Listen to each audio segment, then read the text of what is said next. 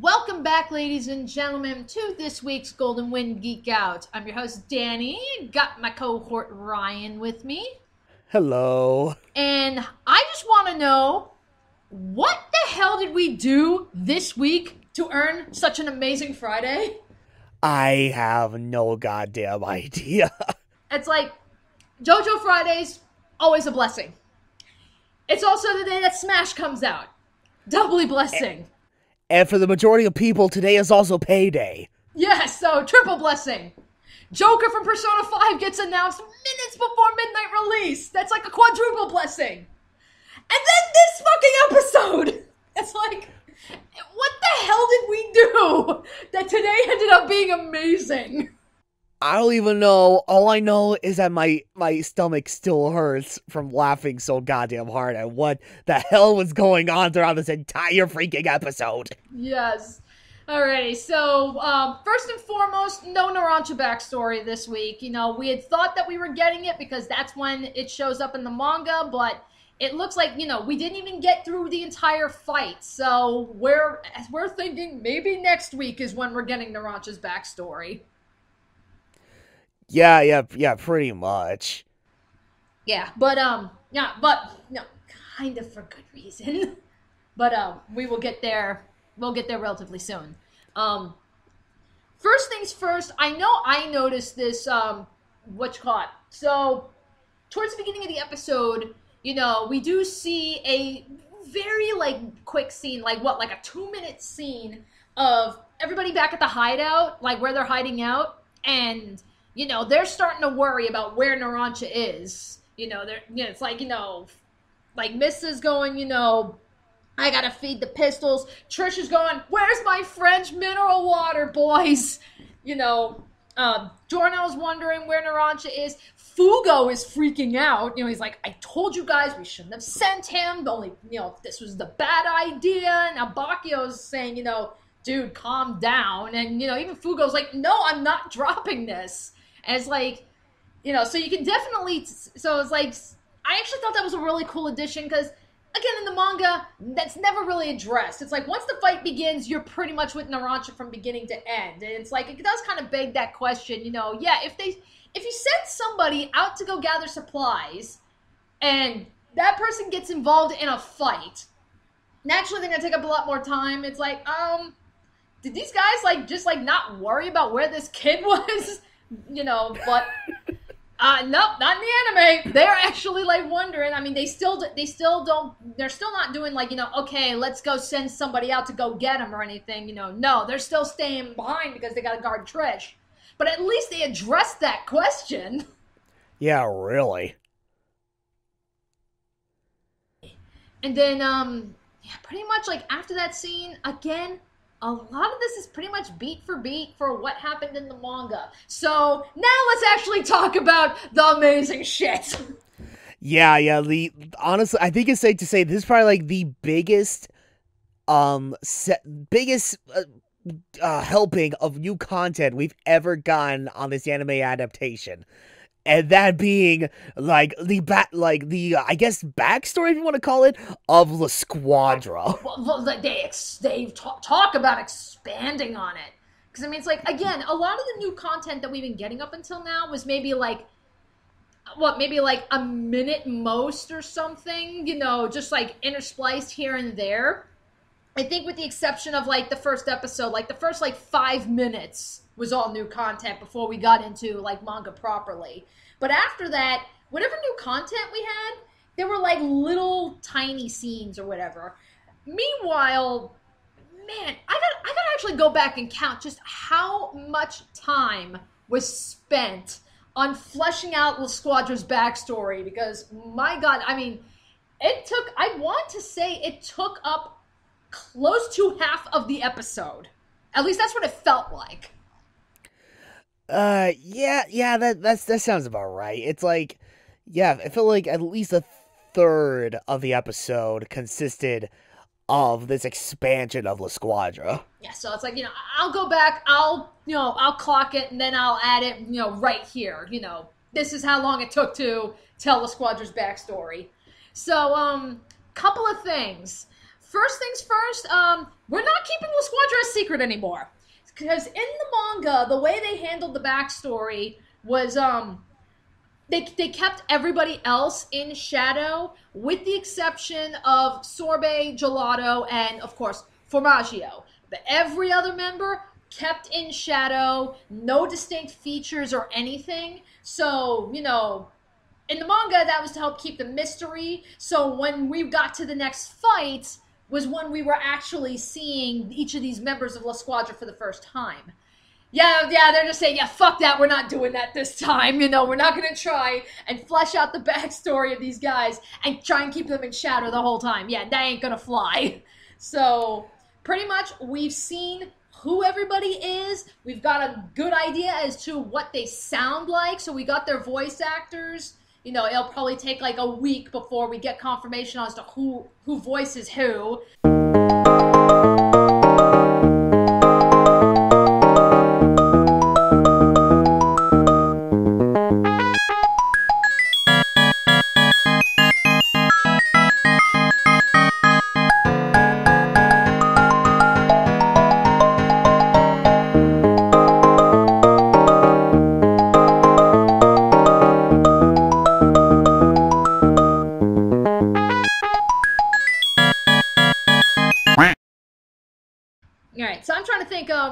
Ryan, as far as voice performances go, like you know, like who would you say out of La Squadra? Who would you say is your favorite? As far as just, oh, just like your favorite voice.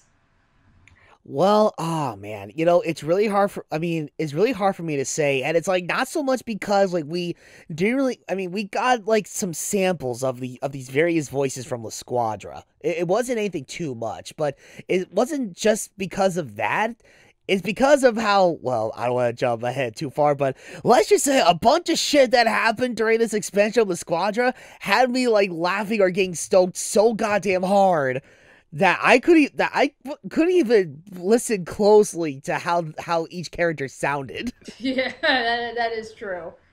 I mean, I mean, all I know is, is like, oh god, what was it? What was that? Oh god, what was that one character from uh on the during the train fight. Not the guy, not the not the bald guy with the green hair, but the other guy. Uh, prosciutto. Yeah, I think I remember. I think his one that stood out to me the most. I'm like, I'm already liking what direction he's taking with his voice. Yeah, same. Yeah, same and, here. I definitely like. I like prosciutto's performance. I like Ghiaccio's performance too. Like, it, he really does sound like he's getting his like neurotic side down. Yeah, wait, wait, wait, which which uh, which uh, villain was that again? Uh, that was the um the white uh white album, the guy with the uh, blue hair and the red glasses. Oh, okay, yeah, that was a. You know what? That's the next person I was gonna bring up. That was the uh, another voice that, even though I was like freaking out and shit, you know, that that was the second voice that got my attention. I also, I'm also really liking the voice performance on that guy as well. Yeah, yeah. I mean, so I'd have to say like probably uh, like and I know it's probably not fair to make the judgment just because um, you know some characters only got a couple of lines, whereas like others got a lot of dialogue. Like Prosciutto got a lot of dialogue, but like Melone got maybe like two lines. So it's like I admit it's probably not fair to you know to fully judge, but at least but you know we're talking first impressions here. Yeah, pretty much but yeah, it's like I'd have to say, you know, I think yeah, for me, I'd say prosciutto and Ghiaccio stood out. Everybody else sounds fine, but those two were definitely the standouts for this. Yeah, yeah, they were the standouts, but it's but it's like I would have to listen in on like their voices again, like in between, like while while we're not recording and such, just so I could get a much better idea on what the other characters sound like and what we can expect when it comes to more voice performances from those characters in the future because because it's like yeah they're not the ones that stood out. That's to say that you know i was i wasn't you know completely unaware of what they sounded like. You know you know what i mean? That that that kind of sounded a little bit jumbled there. That's okay. Yeah and then it's like you know meanwhile like we're all you know we also got like a little bit of a glimpse as to who these characters are so I mean, that's where it's like you know, again, like Ghiaccio, for example. Ghiaccio is so fucking neurotic.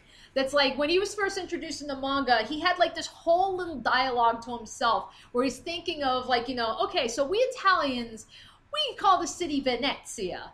But everywhere else in the world, they call our city Venice. What is what the fuck is up with that? And he's like, he has this whole dialogue, and he's like, you know, throwing a temper tantrum over such a minute little detail. He's like, you know, yeah, where he's like, you know, everybody calls Paris by its by the same name, but no, not Vene- but not Venezia. No, that one gets a different name by the rest of the world. That's not fucking fair.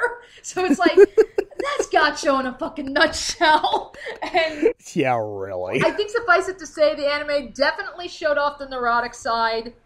You know, we do see the relationship between Prosciutto and Pesci. Like we do see that Pesci is like the weaker willed one like they were saying, he was saying how, like you know, yeah, they're at a restaurant, he's drinking milk, and prosciutto's like, oh, dude, grow the fuck up. he's like, you know, he's like, you're an assassin. What are you doing drinking baby milk? You know, it's, it's like, it's like, eh, yeah, again, that's prosciutto and Pesci. Pesci is you know, yeah, I mean, like, Prosciutto even calls him, like, what is it, like a mamone or something, which is basically like mama's boy in Italian. Like even call yeah, he calls him that. So we saw you know, we see that. We see Illuso being a cocky little shit. Melone We're not there yet. We have a ways to go. All yeah. I'm going to say though, Melone is a fucking trigger warning. but we will cross that bridge when we get there if you're talking about what I think you're talking about, then I'll, okay. Ba- I'll uh, babyface. Oh no! Yeah, I knew it. Yeah, oh let, let, no, uh, no, no, no, yeah, no, we're, no, no, no, we're, we're not there yet. We will cross that bridge when we get there. Mm, okay. Okay, and then um, oh god, who's left? Um, yeah, then you got a uh, Risotto Nero, who's you know, of course, the leader, who's Mister Super Serious. Again, yeah. not too much to really. Yeah. Again, not too much to really talk about him though. And then, as far as uh, sorbet and gelato go, I know in the manga, you know, they did mention in the manga that you know these two were so close, and like you know, if I recall correctly, the dialogue was like explicitly saying, you know, the people, the you know, these two were so close that people often wondered were they a couple. So the manga kind of kept it up in the air, whereas like you know okay, maybe they are, maybe they're not. Like there there was no direct, you know, confirmation. I mean, it's like, yeah, we see them like, you know, hanging all over each other, but it's like, dude, we see the boys hanging all over each other all throughout this part. That doesn't make any of them fucking gay. But the anime is saying, yeah, no. The their couple, Illuso pretty much confirmed it. Like, you know, Prosciutto's asking, like, where are they? And Illuso's like, and eh, they're probably getting it on. So it's like, okay, yeah. we have confirmation. Sorbet and Gelato, they are indeed a couple. So no questions asked, people. Yes. So, and then like, yeah, pretty much from here on out, like, you know, we got that, we got, uh, you know, blah. God, I can't even talk today. There's just, there's just so much to talk about. so much has happened on just one single fucking day. I know that's where it's like you we know, can we can't process it all. I'm still trying to process it all. Well, let alone like um. So what they did, like before we even got into like you know the part of the backstory where the manga actually kicks in, you know we see that I guess they were I guess they were doing a hit. You know they're going after some guy. I don't know what the hell this guy was doing or whatever. It didn't even look like you know he was doing anything bad or whatever. But you know, hey, somebody put a pit, put a hit out on this guy, so they got a job to do.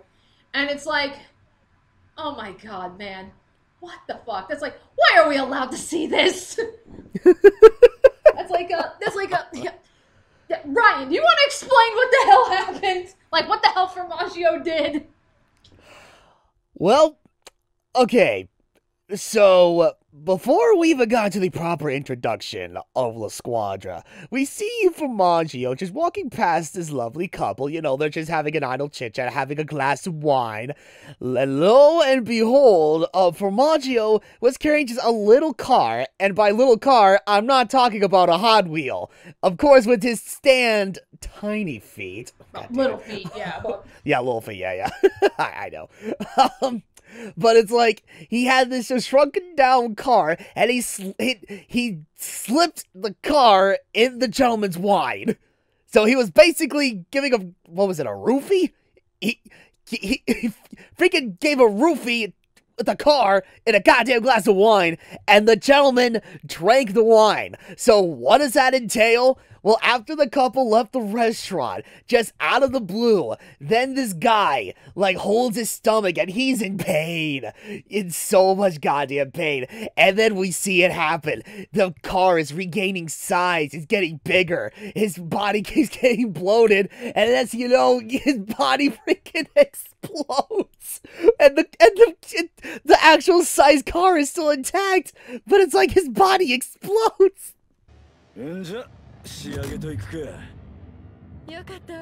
Oh, shit. No. no. Oh no. Oh my god. Oh no, no. It's happening.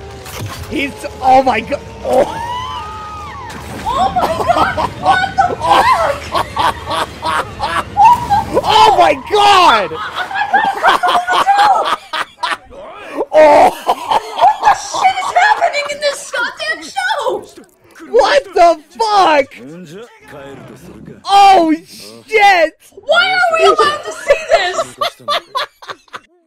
How is this not fully censored? Not only that, yeah, not only do we see Formaggio just completely blow this guy apart by, you know, bringing his car back to its original size.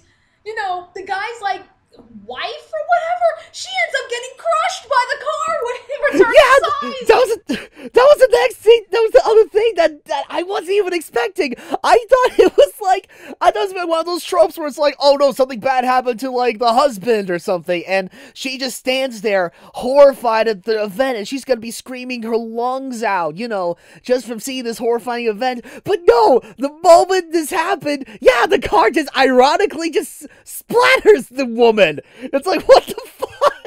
I know. I was like, what the hell? That's like they even like pointed this out. Like they go back to the headquarters and you know, yeah, they're saying you know, okay, is the job done? You know, Formaggio's like, yep, the job is done. And even Prosciutto's like, yeah, but you killed the woman that was with him.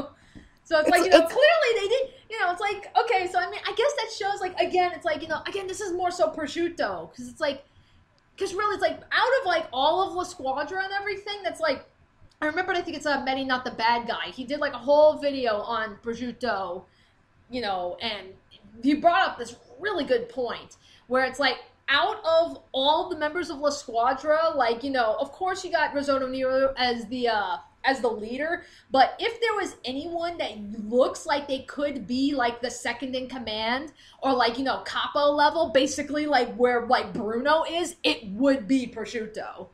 And it's like, you know, yeah, again, we kind of see that here because it's like, you know, yeah, Formaggio's like, yeah, I killed the guy, and he didn't give a shit if he killed the woman or not. But Prosciutto's like, well, yeah, but you killed the woman too. Clearly, they had nothing on the woman, but Formaggio's like, I don't give a shit. It's like collateral damage. I don't care. It's like, yeah, yeah. It's like, I mean, she was, I mean, hey, she was in the way. If she would have stayed out of the way, then maybe that wouldn't have happened. Or, or, or, or, or something like that. That's probably what Formaggio was thinking. But even then, it's like, Jesus Christ. It's like, okay, I know, I know for a fact we're gonna deal with even more gruesome shit like later during this part. But holy crap, this is the goriest free parking I have ever seen. Yeah, uh, like yeah, literally. Yeah this, is, yeah, this is hands down the goriest episode we have had so far. I mean, hands down. And it's like, Now, mind you guys, that's all new content. Pretty much now from here we move on into where the manga picks up. Oh, Jesus Christ. What the hell? Look at all that blood. But punishment. Oh god, the package! Oh, oh no! Oh god, here it goes! Oh no, no, no, no, no, no, no gotta be like. Cranes? Well, well, this is probably gonna be like because remember this is where you see like you know the insides of bodies and shit. Like usually this gets yeah. censored, so this is probably just gonna be like weird, huge black blurs.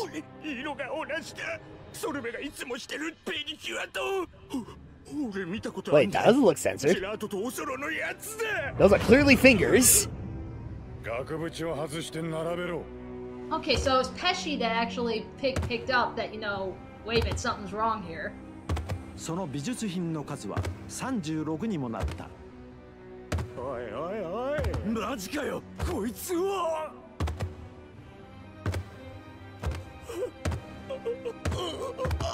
Whoa, this isn't censored. No, What no, is it's this? not. Are we This is actually not getting uncensored censored. JoJo now in broadcast. what the? Oh god, I even saw the bone in one of the little pieces. Oh my god, what the fuck? What is happening? what the shit? oh, look! Look at that! Look at! Look at this! So wait, let me so let me get this straight. So we're allowed to see this, but we can't see Jotaro smoking a cigarette in part three. What the hell, Japan? what the fuck? Japan, we need to have a talk. Seriously. oh. So back in episode 1, Leaky Eye Luca's fingers got censored, but now we're allowed to see this? Oh man. Wait a minute. I guess a lot I guess a lot could happen in four years. Wait, hang on. Oh my god, that hair Oh my god, that's Chocolata! What is it? Yes! Yeah, if you remember, Chocolata had the, the weird, like, sticking up dreads. And remember, he was a former doctor. He knows how to cut up a body. Oh shit, that's right! We actually have fuck Oh my god, my mind! oh, my god! What did this we is do awesome. this week to deserve this goodness? I don't know why now all of a sudden they're allowed to show this uncensored. I thought for a fact this part at least would be censored. Because I mean hell, back in episode one, if you remember, when Giorno threw up Leaky Eye Lucas' fingers, they censored the ends of Lucas' fingers because they were going to be showing muscles and bone and shit. You know, that's where it's like, you know, they, they pretty much did it exactly like what they did in part four with Kira's hand victims. So I thought for sure this part would be censored. Nope! No censors in this episode! So it's like, what the hell is going on that, like, you know, yeah, like this is this is where I was like worried, like, you know, back when this thing got announced, like, yeah, moments like these that are gonna have such a gut punch emotional impact, you're not gonna have that same impact because it's no doubt gonna be censored. But clearly that didn't happen this time. So it's like, I just want to know what in the hell is going on in Japan right now that now they're getting lax on the censorships in JoJo when they've been so fucking strict in the past to the point like they won't even show Jotaro smoking a cigarette. But they'll gladly show a guy, his corpse, being like cut up and encased in 36 pieces of artwork. Uh, yeah, it's like, oh, like I, I, don't, I don't even know at this point. It's like, I mean, I, I guess when you really get down to it, when we got like a really close-up shot of like, say, of the victim's face, you know, as we're looking through like the frames or whatever, it's like, yeah, it was clearly obvious that um, you know, it this is this is, this is like pieces of a guy's like like his entire head just sliced up into like three separate parts or whatever. But then it's like if you look underneath the the body parts or whatever, it's like there, there was there was nothing but black under them. So so I guess one could argue that there was some form of censorship, you know, to block out the really muscly and gory parts. You know, on when we got like uh when you look under when you get the when you get the shot of the body parts and we see like um beneath like the slices of like um corpse parts or whatever. But but even but even if there was even if that was like some form of censorship, it, it was not okay, it was not like nearly as obvious enough. It was clearly shown as like, oh shit, these are slices of a freaking corpse. Yeah, I mean, it's like, you know, because, yeah, I mean, they showed the pieces of artwork with, like, you know, his body in them, and there was no censors. You were seeing the bone, the muscle, the organs being preserved in this stuff. So, I mean, it's like, they showed it all. So it's where it's just like, God damn it, man. I mean, it's like, don't get me wrong, guys. I'm glad that it's uncensored because it's like I said, that I think you know it if it was censored, while it made while it would definitely make sense, at the same time it does kind of ruin the gut punch. You know, because that was like the whole thing. Like even in the manga, like I mean, Ryan, when you first when I first showed you this in the manga, the fact that the manga, of course, is not going to be censored, you know, because of how gory that part was. Even you were like freaking out when you first saw that. You were like, "Oh my god! Like what the fuck?" and everything. Yeah, really. Yeah, and it's like, I was like, you know, you got that gut punch reaction to it and everything. So that's where I was like, I'm so glad that we're not getting it sens that's not being censored, so we can still get those gut punch reactions. And it does now leave me a lot more hope now for when we do get up to seeing uh, Risotto Nero's fight, because that's the fight that I I I keep telling myself that's going to be the fight that you know we're not going to be able to like enjoy this thing because it's going to get censored so badly because it is like the most gory fight out of the entire part. But if they're getting away with showing off, you know, this freaking corpse, Risotto Nero's fight should be simple. Yeah, yeah, that for that I am completely uncertain of, unfortunately. Anyway, uh, yeah, let's okay. Let's just go on ahead and just move on, you know, because it's like we could like be pondering about this shit all day. But um, Uh, uh, yeah. But, but I mean, it's, but I mean, it's like even with that, it's like with all things considered, like even at like even after like the whole uh, expansion and backstory with La Squadra, everything else like we we we instantly pick back up where we left off during the Narancia fight or whatever.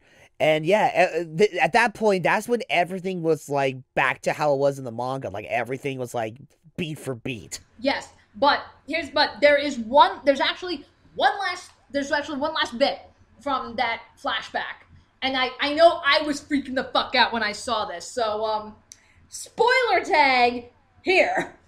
So when we were seeing the flashback of like you know, yeah when uh yeah with Sorbet and Gelato getting um yeah getting killed and everything, and you're seeing like you know you see the shadow of um, where Sorbet was actually getting cut.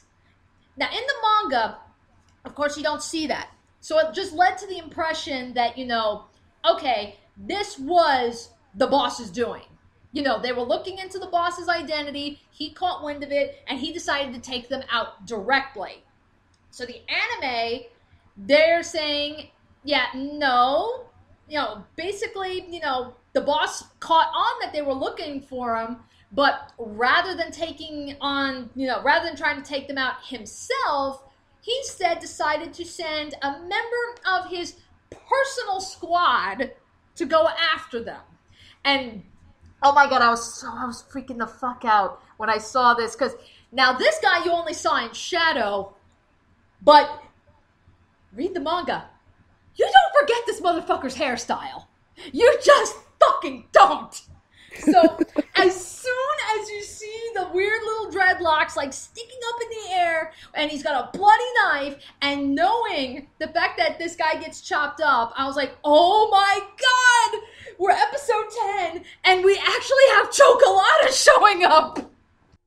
Uh, I was like, oh my god, that actually makes perfect sense.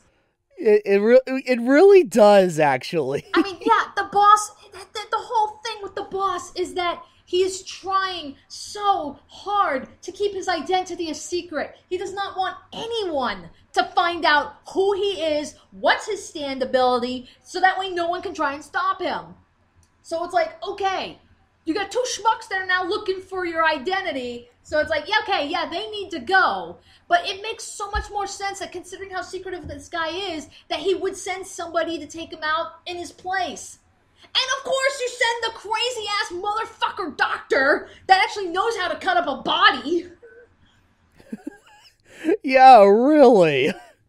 This just makes fucking perfect sense. I was like, like, considering the considering how batshit insane Chocolata is, like, of course, Chocolata would come up with this idea. I'm gonna chop up this guy and I'm gonna put him in 36 pieces of artwork. That, yeah, you know, thinking about it, that definitely that screams Chocolata so much more than it screams the boss. Uh, yeah, yeah, really. Uh, I was like, what the fuck, man? I mean, it's like, don't get me wrong, guys. It's like, trust me, if you have not read the manga and you're only watching the anime, we're not gonna get to joke a Chocolata for a long time. But Yeah. we're, yeah, we're we're, ta- we're not gonna get to this guy for a very long time. But yeah, yeah, close to the end of the part actually.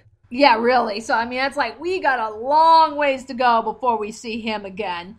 That's where I'm just like, oh my god, they actually showed him off. Granted, it's in shadow, so it's like, okay, he's not getting the La Squadra treatment. But still, it's like, like I said, you don't forget that hair. You don't forget that fucking hair. So I, yeah, I think suffice it to say, um, La Squadra. Oh my god, I, I already loved you guys in the manga. I still say that La Squadra is hands down like these are the best minor villains in all of JoJo. I didn't think it was possible to love them anymore. But I'm fucking And wrong. sure enough. and sure enough. boy, am I fucking wrong, and boy, am I glad to be wrong. It's like, oh my god.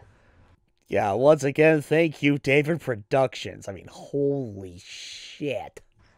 I think it, I, think suffice it to say, La Squadra kind of stole the episode. Yeah, Well, yeah, because it's like you said. Pretty much after this, we continue on with the fight, and the fight, it's pretty much just beat for beat for the manga. So there's nothing really new that they're adding to the fight itself. Now, where the fight ended, you know, that's where it's like, okay, Formaggio's figured out how Aerosmith works. So we got the whole radar thing going on. We got to see Aerosmith in action. So it's like, that's all cool. But it's still not the whole fight. So next week, we'll be seeing the rest of the fight for sure. Now, I don't know whether to take this as okay, it's going to take up the entire episode or only half. Because there's still a big portion of this fight that we haven't seen. That's like, you know, last week I called it Attack on Titan with spiders. We didn't get that this week. So we'll be getting Attack on Titan with spiders next week. Uh, yeah. Uh, I mean, I don't know. It's like, mm. honest, honestly, yeah. Honestly, I'm thinking at the very least, like the remainder of the Narancia fight will take up. No, oh wait a minute, hold up. Well, okay, they have okay, they have to fit in Narancia's backstory at one point or another. So I don't know. It's like I'm thinking like one quarter of the episode will be Narancia's backstory. And then I think like another like third of the episode will be the rest of the Narancia fight. And then they'll end it off with some other rant and then they'll end it off with like a different cliffhanger or something. Okay. Cause, cause I do not remember exactly what happens after the Narancia fight, but I'm gonna assume, like, if that, if this, if this were the case, they're gonna move on with the plot or whatever, but then come, but then find a way to pull off another cliffhanger, like when we're when we're getting into some more really good shit, Yeah, like we're. Yeah, setting up setting up for the next fight. yeah, or or something, yeah. Yeah, so it's like again, it's so hard to really gauge just because with how much time was dedicated to La Squadra in this episode and assuming that we get Narancia's backstory in the next episode, I don't see why we wouldn't. I mean, it's like it makes sense. Why not? Sh- why you know? If you're gonna shove both backstories in one episode, that would feel really disjointed. So it's Yeah. like it makes sense. Okay, La Squadra, give them their backstory one episode. Narancia's backstory comes in another episode. So I don't see Ye- why it can't like you know yeah like next week like you know what they like what they did with Abbacchio and Mista where it's like the episode begins with Narancia's backstory. Yeah, yeah, exactly. It's it's just like what you said, Danny. It's like yeah, even though yeah, even though this episode like consisted of like another like massive like chunk of the Narancia fight or whatever, it's like no, you're absolutely right. It's like La Squadra literally stole the spotlight for this episode. So yeah, I I agree. It only makes sense for the next episode where it's like, okay, all right, all right, La Squadra, you had your you had your fun under the spotlight. Okay, let's move it over to Narancia. Let let let hit let's let him have the stage again. Yeah, so that's where it's like, you know, it's so hard to gauge, like, just how. I mean, we will be getting the rest of the fight next week for certain.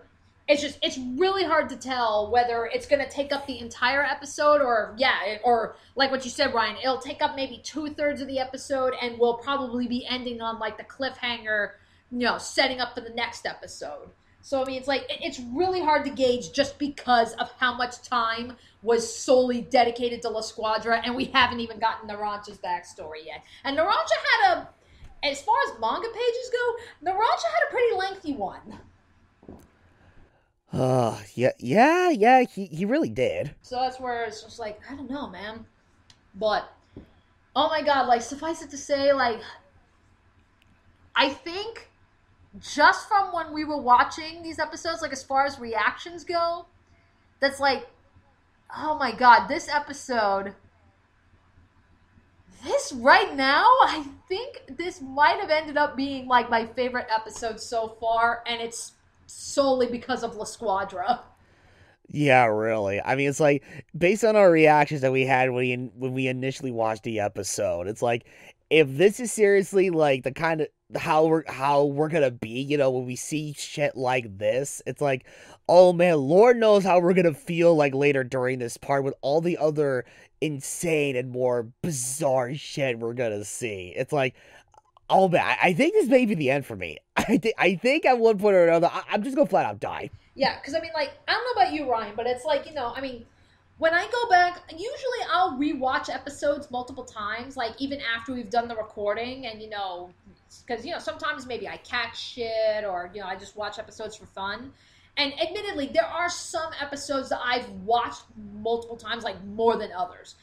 I think, like, up until this point, probably the- episode that I personally have watched the most, honestly, I think was the episode where it was Bruno and Abbacchio on the boat and they're trying to track down Soft Machine. Like, you know, so you got that's where you got Abbacchio's backstory and that's where Moody Blues really shines. Like, I think that's the episode I've watched the most because I just really loved how that episode was handled. But just from gauging what happened today, I think I think that might have competition now. Yeah, r- really. Yeah, oh my god. So it's like, oh man. Uh, it's like, Day Production, you have been doing wonders so far, but holy shit, man, you have definitely been giving La Squadra their proper justice. Yeah, yeah, I couldn't have said it better myself. So it's like, oh god, I can't. Now it's like, I can't wait to see the rest of these characters in action now. So it's like, oh my god, I don't want this to end. Yeah, I, I'm go- Yeah, I, I'm gonna need to take a while to simmer down after all of this shit. Well, really? yeah. Fortunately, I know the perfect way to do that. So, um, so guys, hope you all enjoyed this episode as much as we did. So we will see you all next week for episode eleven. Okay, we we got to calm down now. Let's go back to Smash.